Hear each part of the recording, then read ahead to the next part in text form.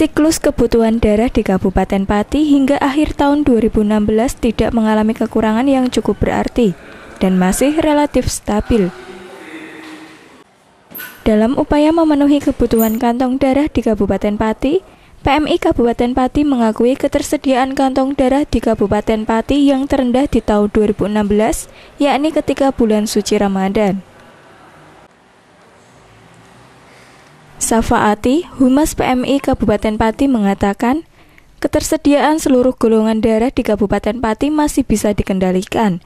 Namun pada saat bulan suci Ramadan, kami cukup kesulitan memenuhi kebutuhan kantong darah yang diikuti dengan peningkatan kebutuhan setiap tahun sebanyak 5%. Yeah. Uh, untuk 2016 ini kami bisa dikatakan untuk permintaan darah itu ter uh, tergolong tercukupi ya jadi lancar bisa tercukupi.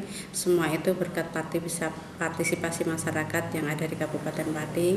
Namun ada bulan-bulan tertentu yang mungkin kita tidak bisa mampu mencukupi terutama di bulan uh, Ramadan.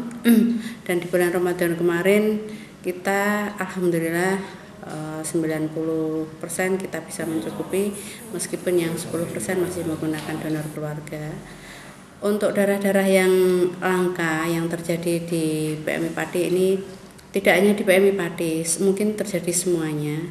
Itu apabila e, ada pengguna darah yang resusnya negatif.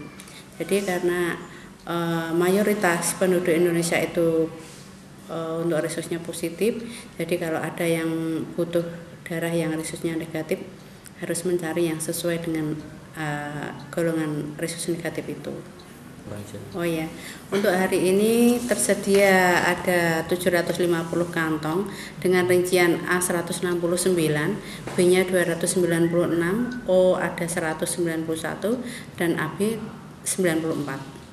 Kami sejauh ini upaya yang sudah dilakukan apa aja, Kita selalu bersosialis, e, mensosialisasikan betapa pentingnya darah bagi orang lain dan pentingnya orang e, mendonorkan darah untuk dirinya sendiri.